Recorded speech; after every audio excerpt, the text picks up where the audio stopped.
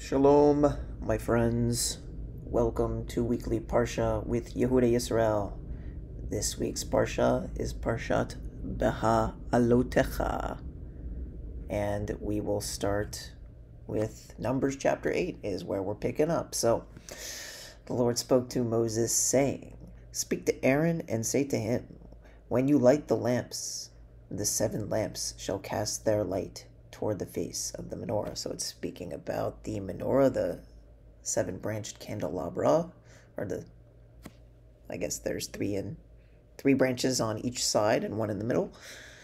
Aaron did so, and he lit the lamps toward the face of the menorah, as the Lord commanded Moses. And this was the form of the menorah, hammered work of gold, and its base and its flower.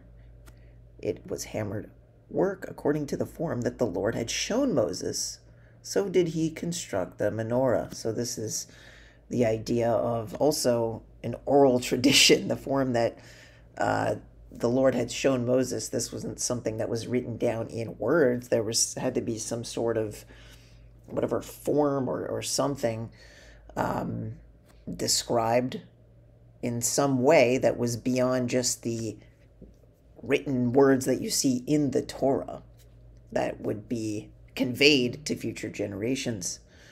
So, another demonstration of the oral Torah. The Lord spoke to Moses, saying, Take the Levites from among the children of Israel and cleanse them. This is what you shall do to them, so as to cleanse them, sprinkle them with cleansing water, and pass a razor over all their flesh, and they shall wash their garments and cleanse themselves. And then it's discussing a bull offering that they will make as a sin offering and bring the Levites to the tent of meeting and gather all the congregation of Israel. And the Levites shall come before the Lord, and the children of Israel shall lay, lay their hands upon the Levites. And Aaron shall lift up the Levites as a waving before the Lord on behalf of the children of Israel, that they may serve in the Lord's service. So they're all together in this waving ceremony. and the Levites shall lay their hands on the heads of the bulls, and one and make one as a sin offering and one as a burnt offering to the Lord to atone for the Levites. And you shall present the Levites before Aaron and his sons and lift them as a waving before the Lord. Thus you shall set apart the Levites from the midst of the children of Israel, and the Levites shall become mine. Okay, so differentiating between them and showing this ceremony, the wave. so, following this, the Levites shall come to the to serve in the tent of meeting, the Ohel Moed. You shall cleanse them and lift them as a waving, for they are wholly given over to me from among the children of Israel, instead of those that open the womb. All the firstborn of Israel I have taken for myself. Right? We discussed the firstborn initially had a priestly status, and then after the sin of the golden calf, there was a change, and we have the Levites acting as the priests. For all the firstborn among the children of Israel are mine, whether man or beast, since the day I smote all the firstborn in the land of Egypt, I have sanctified them for myself. The firstborn are mine. So Rashi says, the firstborn are mine by right, I protected them among the Egyptian firstborn. I took them for myself until they erred through the golden calf, exactly what I said before. So now I have taken Levites, verse 18, right? And it's explicitly said in the next verse, and I've taken the Levites instead of all the firstborn of the children of Israel. I have given the Levites as a gift to Aaron and his sons from among the children of Israel to perform the service for the children of Israel in the tent of meeting and to atone on behalf of the children of Israel so that the children of Israel will not be inflicted with plague when they approach the sanctuary. Uh, so, yeah, that is their role. And so Moses and Aaron and the entire congregation did this, and to the Levites and children of Israel did in accordance with all that the Lord had instructed Moses regarding the Levites.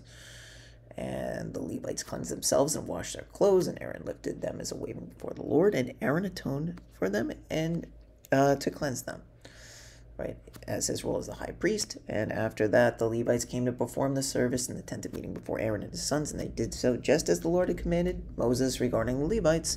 And the Lord spoke to Moses, saying, This is the rule concerning Levites from the age of 25 and upwards, he shall enter into the service to work in the tent of meeting. So That is when the Levites uh, take up their roles.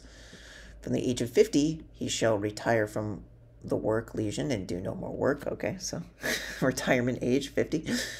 And he shall minister with his brethren in the tent of meeting to keep charge, but he shall not perform the service. Thus you shall do for the Levites regarding their charge. So I guess at a certain point they are kind of like priest emeritus. you know, they're overseeing that and, and probably instructing the younger Levites how to minister and do the priestly rites in the uh, tent of meeting.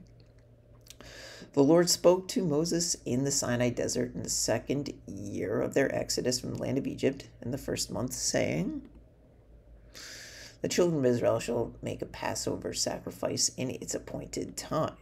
On the afternoon of the fourteenth of this month, you shall make it in its appointed time, according to in accordance with all its statutes and ordinances, you shall make it. Moses spoke to the children of Israel, instructing them to make Passover sacrifice. So they made the Passover sacrifice in the first month on the afternoon, of the fourteenth day of the month, uh, in the Sinai desert, according to all that the Lord had commanded Moses. And so did the children of Israel do. And there were men who were ritually unclean because of contact with a dead person, and therefore could not make the sacrifice, the Passover sacrifice, on that day. So they approached Moses and Aaron on that day. So this is, you know, they wanted to participate in this, but they couldn't. And um, it says, those men said to him, We are ritually unclean because we came in contact with a dead person. But why should we be excluded so as not to bring an offering to the Lord in its appointed time with all the children of Israel? They're like, Why should we be excluded? We want to participate in this mitzvah. We want to be able to keep Pesach. And Moses said to them, Wait, and I will hear what the Lord instructs concerning you. Right? So Moses needed to uh, get instruction from God. Now, it's interesting because our friend, we have some friends in the Christian world who say, Oh, how could there be an oral Torah if Moses needed to ask God directly more instructions after he received the oral Torah at Har Sinai?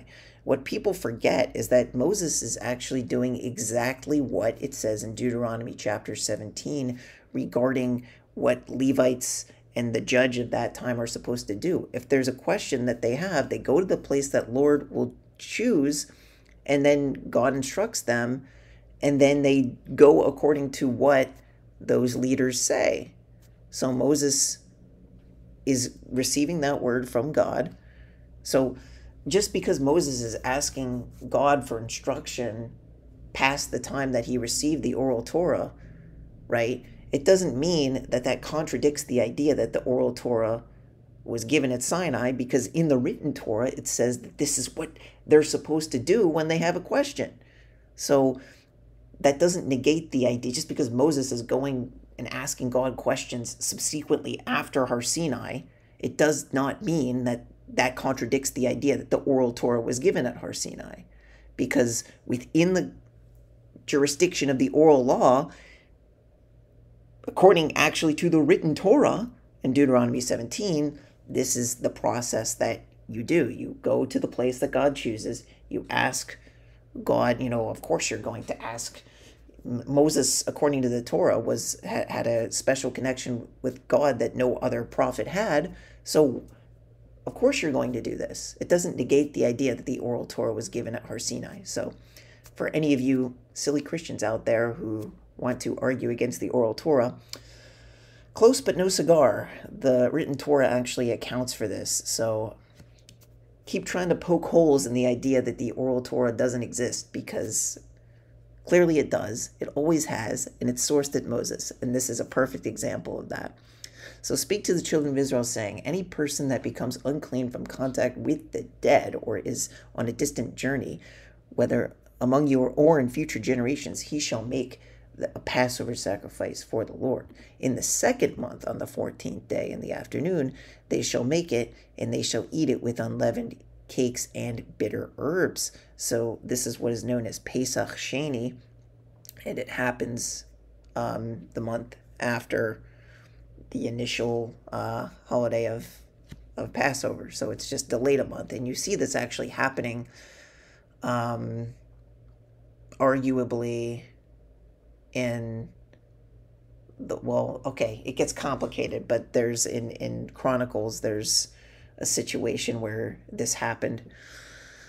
They shall not leave over anything from it until the next morning, and they shall not break any of its bones. They shall make in accordance with all the statutes connected with the Passover sacrifice. But the man who is ritually un- ritually clean and not on a journey, yet refrain from making the Passover sacrifice, his soul shall be cut off from his people. For he did not bring the offering of the Lord in its appointed time, and that person shall bear sin. So you want to make sure that you do do that. If a proselyte dwells with you and he makes a Passover sacrifice to the Lord according to the statutes of the Passover sacrifice and its ordinances, he shall make it. One statute shall apply to you, to the proselyte, and to the native born citizen. Okay. So now, on the day the Mishkan was erected, the cloud hovered over the Mishkan, which was a tent for the testimony, and on that evening there was over the Mishkan like an appearance of fire, which remained until morning. So it was always the cloud covered it, and there was an appearance of fire at night. And according to the cloud's departure over the tent, and afterwards the children of Israel would travel in the place where the cloud settled, and the children of Israel would encamp the bidding of the Lord, the children of Israel traveled, and the bidding of the Lord, they encamped as long as the cloud hovered above the Mishkan, they encamped. So this is the Anaya Kavod. When the cloud lingered over the Mishkan for many days, the children of Israel kept charge of the Lord and did not travel. Sometimes the cloud remained for several days above the Mishkan. At the Lord's bidding, they camped, and at the Lord's bidding, they traveled. Sometimes the cloud remained from evening until morning. And when the cloud departed in the morning, they traveled, or when the cloud remained for a day and a night, when the cloud departed, they traveled. Whether it was for two days, a month, or a year that the cloud lingered to hover over the Mishkan, the children of Israel would encamp and not travel. When it departed, they traveled. At the Lord's bidding, they would encamp, and the Lord's bidding, they would travel, and they kept charge of the Lord by the word of the Lord through Moses. Okay, Bamidbar chapter 10, moving on. The Lord spoke to Moses, saying, Make yourselves two silver trumpets. You shall make them from a beaten form, and they shall be used by you to summon the congregation and to announce the departure of the camps. When they blow on them, the entire congregation shall assemble to you at the entrance of the tent of meeting. If they blow one of them, the princes and leaders of Israel, thousands shall convene to you. And when you blow a trua series of short blasts. The camps or in camp shall travel to the east shall travel, and when you blow a second trua, the camps encamped to the south shall travel, and they shall blow a trua for traveling. But when the congregation, or but when assembling the congregation, you shall blow a tekiah. this is where you get all the shofar blasts that we use, you know, and on uh, typically on Rosh Hashanah, we we we do this. Um, you shall blow a tekiah long blast, but not a teruah. The descendants of Aaron and the priests shall blow the trumpets. This shall be an eternal statute for you and your generations, right? So, this is an idea that this, obviously, we know the Levitical priesthood is not going anywhere. We made several videos on that, so check that out. Um, you know, it's very much connected to the future days of the Messiah when the Levitical priesthood will be restored back to its former glory. Check Malachi chapter 3 if you're interested. If you go into war against the land of an adversary that oppresses you, you shall blow a trua with the trumpets and be remembered before the Lord your God and thus be saved from your enemies. On the days of rejoicing, on your festivals, and on your new moon celebrations, you shall blow on the trumpets for your ascent offerings and your peace sacrifices, and it shall be a remembrance before your God. I am the Lord your God. Great. Okay. So, yeah, it's discussing how, uh, I guess, holidays are inaugurated. A lot of people argue against the idea of Rosh Hashanah in the Tanakh. I'm going to make a video on that, I think, when we get closer Spoiler alert for that, though. If you look in Ezekiel chapter 40, you have a reference to it. It's not something that rabbis made up, it's actually in the Tanakh. And there is strong evidence to support that that was exactly what was what that when Ezekiel received that prophecy of the third temple, it was on Yom Kippur, which was in Rosh Hashanah, the first month of the year, um, which is in that sense it was the first month based on the Yovel, right during the Jubilee year. The that's when you announce it is in the month of Tishrei, so it was described as Rosh Hashanah, the beginning of the year, and on that tenth day, that's when Yom Kippur was taking place, and that's when Ezekiel received that prophecy of the third temple. So I'll make a video about that in the future in case you're interested. On the 20th of the second month of the second year, the cloud rose up over the tabernacle of the testimony. The children of Israel traveled on their journeys from the Sinai desert. The cloud settled in the desert of Paran. Oh boy, I think this is where it has all the places that they traveled. And this is the journey at God's bidding through Moses. So the banner of the camp of Judah. Children traveled first according to their legions. Heading the legion was Nachshon, right?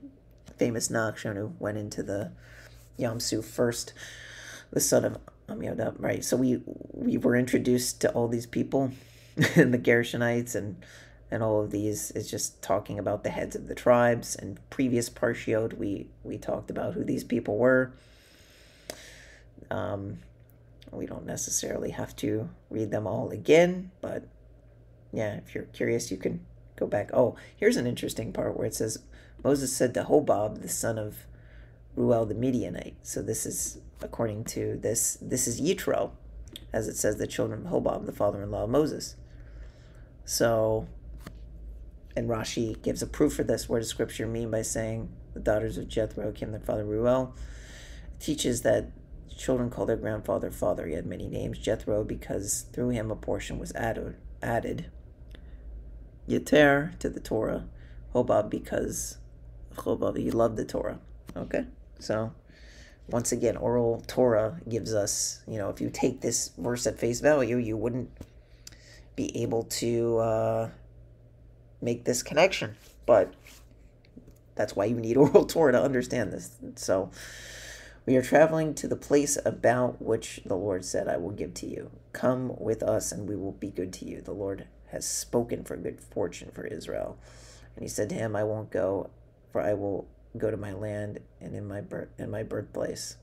He said, Please don't leave us.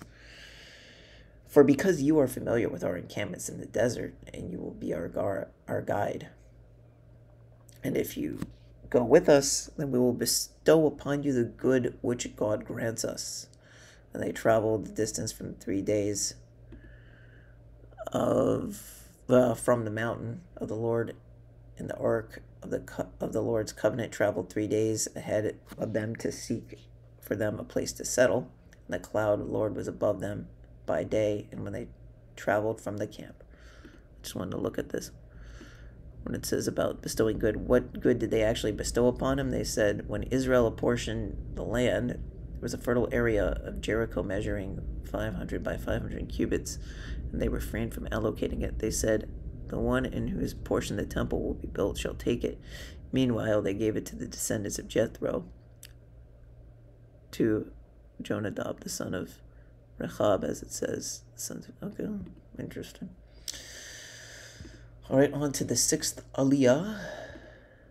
So it was whenever the ark set out, Moses would say, Kuma Hashem v'yafutsu oyevecha v'yanusu misanecha.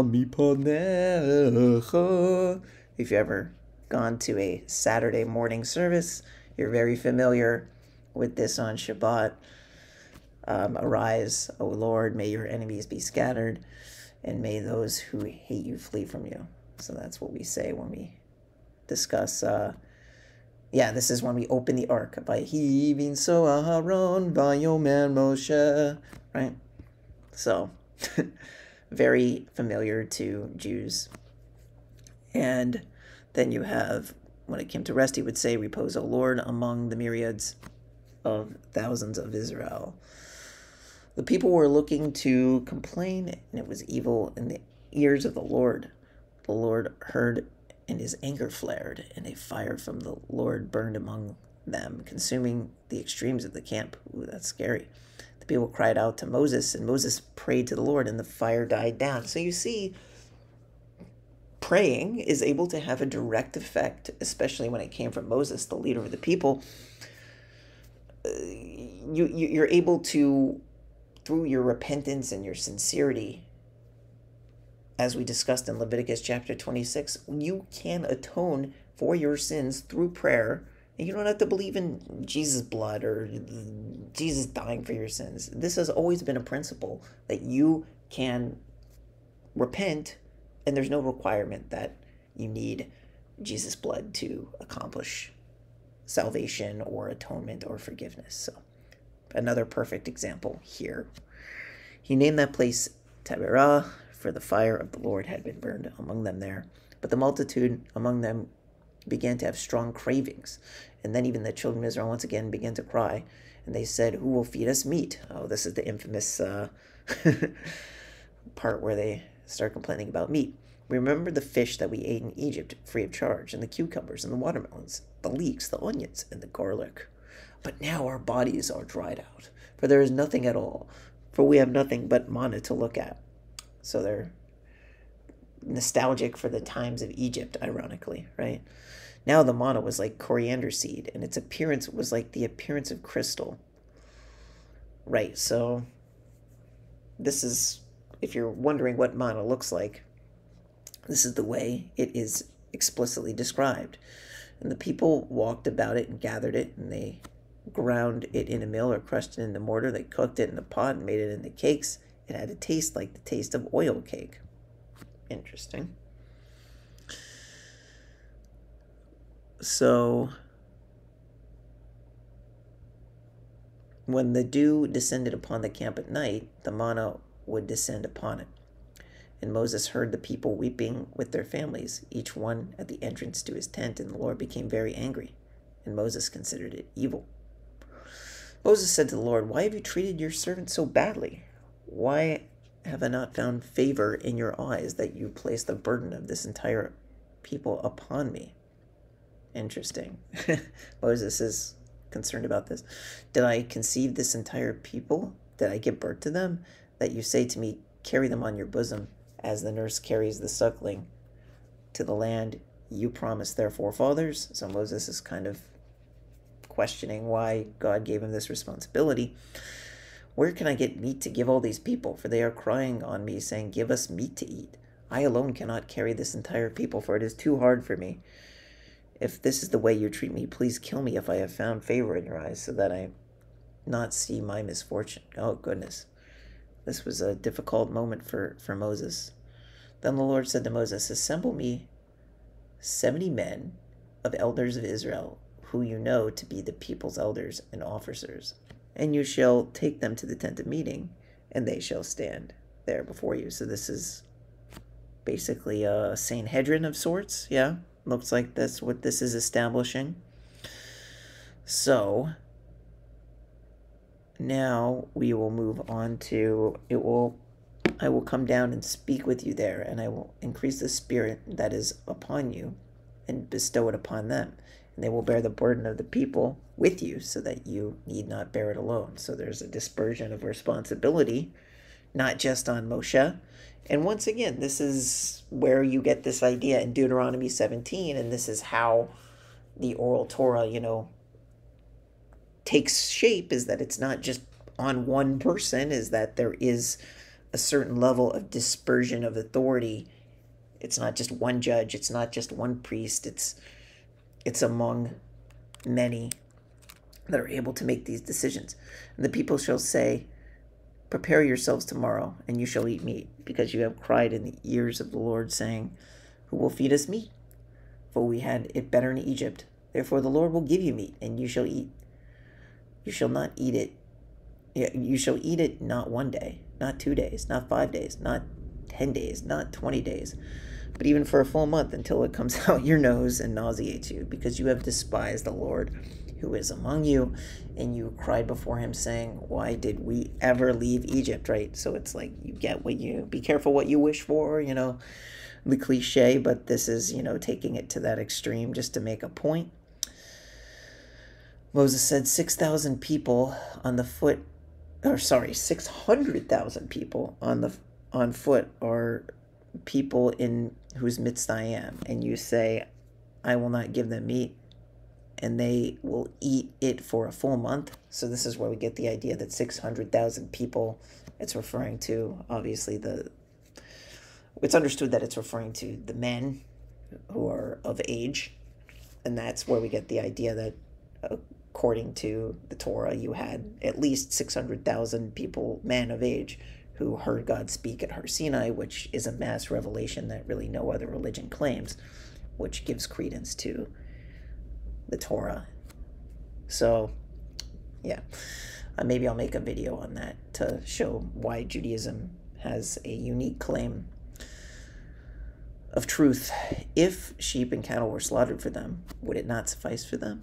If all the fish of the sea were gathered for them, would it not suffice for them? Then the Lord said to Moses, Is my power lifted? Now you will see if my word comes true for you or not. So Moses went out and told the people what the Lord said, and he assembled seventy men of the elders of the people and stood them around the tent. And the Lord descended in a cloud and spoke to them, and spoke to him. And he increased some of the spirit that was on him, and bestowed it, this and bestowed it to the seventy elders. And when the Spirit rested upon them, they prophesied. But they did not continue. So you have a dispersion of, of this divine authority. And now two men remained in the camp. The name of one was Eldad, and the name of the second was Medad. And Spirit rested upon them, and they were among those written but they did not go out to the tent, but they prophesied in the camp. Right? Among them, chosen for the Sanhedrin, all of them were written down, mentioned specifically by name, but the number was chosen by lot because the number of elders of the 12 tribes came six from each tribe, except two tribes, which would have only five. Interesting. So this is, yeah, if you find that interesting, how the people were chosen for the Sanhedrin. the lad ran and told Moses, saying, Eldad and Medad are prophesying in the camp. And Joshua, son of Nun, the servant from his youth, answered, said, Moses, my master, imprison them, because they are, I guess, using authority that Yehoshua didn't realize that they were able to, to do that. Impose upon them communal responsibilities, and they will be finished as prophets by themselves. Another interpretation is that they were prophesying that Moses would die and that Joshua would take them into the land of Israel. Joshua didn't want to hear that. And Moses said to them, Are you zealous for my sake? If only all the Lord's people were prophets, that the Lord would bestow his spirit upon them. So he kind of flips it around on Joshua and says, Wouldn't you want everybody to have this close connection to Hashem? Um, you know, wishful thinking maybe, but yeah. Then Moses entered the camp and he, and he and the elders of Israel. A wind went forth from the Lord and swept his and swept quails from the sea and spread them over the camp about one day's journey. In this way and one day's journey that way around the camp about two cubits above the ground. And the people rose up all that day and all night. And the next day and gathered the quails. The one who even get, gathered the, the least collected ten heaps, and they spread them around the camp in the piles. And the meat was still between their teeth. It was not yet finished, and the anger of the Lord flared against his people, and the Lord struck the people with a very mighty blow. He named that place Kivot. I'm not going to try the transliteration. Kiv wrote Hata'ava, graves of craving where they buried the people who craved, right? So they got, I guess, what they wanted. They got their meat. And the people traveled to Hatzerot and they stayed in Bechatzerot. Oh, here is a very infamous part of. Wow, okay, this is actually one of my favorite parts of the book of Numbers. Um, I did a whole video about this. It shows Moses' uniqueness. Moses and Aaron spoke against Moses regarding the Cushite woman who he had married, for he had married a Cushite woman, so it's debatable if that's referring to Tzipporah. Um, they said, Has Moses spoken only to Moses? Hasn't he spoken to us too? And the Lord heard. And this man Moses was exceedingly humble, more so than any person on the face of the earth. That's a unique trait of Moses. The Lord suddenly said to Moses and Moses, Aaron, and Miriam, Go out, all three of you, to the tent of meeting. And all three went out, and the Lord descended in a pillar of cloud and stood at the entrance of the tent. He called to Aaron and Miriam, and they both went out. And he said, Please listen to my words. If there be prophets among you, the Lord will make myself known to him in a vision. I will speak to him in a dream. So this is for prophets in general. But Moses is unique. Not so with my servant Moses. He is faithful throughout my house. With him I speak mouth to mouth. So this is an expression, right? In a vision and not in riddles. He beholds what is known in Hebrew as Temunat Hashem, which loosely translates to the image of the Lord of the Lord. So why were you not afraid to speak against my servant Moses? So you can see, like, for example, in the book of Ezekiel, Christians will quote, you know, say, like, oh, look, you're seeing God, there's the image of a man. It's a vision. If you actually see the beginning of the uh, chapter in Ezekiel chapter 1, it's it, he's not actually seeing a physical representation of God. It's it's in a dream state, right? And that's what's unique about Moses is whatever he's seeing is unique to Moses. And that's why when you look at Deuteronomy chapter 4, it says when God spoke, they saw no image. It says they saw no tamuna. Moses is unique in that whatever he sees is some sort of image of sorts. But whatever that means is impossible for us to understand. So that's why we understand that God is not going to appear to us in any form.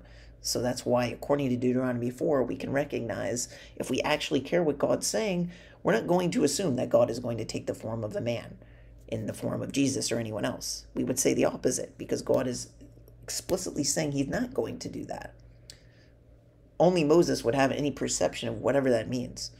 Um, even when you go to Exodus 24, which Christians like to abuse the context of and say, well, what were they, you know, what were they seeing? Well, clearly they weren't seeing an image of God. They weren't seeing a tamuna because only Moses, according to this verse, experiences whatever temunat Hashem means that is unique to Moses. And then when you see the children of Israel being discussed, it says that they do not see temunat Hashem. So whatever they saw wasn't an image. It wasn't a man.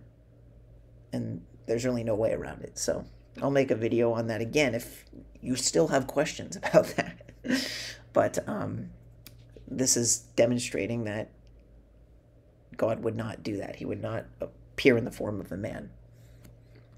So the wrath of the Lord flared against them, and he left, and a cloud departed from above the tent. And behold, Miriam was afflicted with tzara'at as white as snow. And Aaron turned to Miriam, and behold, she was afflicted with metzora'at, right? And Aaron said to Moses, Please, Master, do not put sin upon us for acting foolishly and for sinning. So, this is the idea of Lashon Hara, which is, uh, you know, speaking badly about other people. Let her not be like the dead, which comes out of his mother's womb with half his flesh consumed. And Moses cried out to the Lord, saying, I beseech you, God, please heal her. And the Lord replied to Moses, If her father were to spit in her face, would she not be humiliated for seven days? She shall be confined for seven days outside the camp, and afterwards she may enter. So Miriam was confined outside the camp for seven days, and the people did not travel until Miriam had entered. And the people departed departed from Mehatzerot, and they camped in the desert of Paran. So interesting. So yeah, I hope this video has been a blessing to you all. Shalom Aleichem.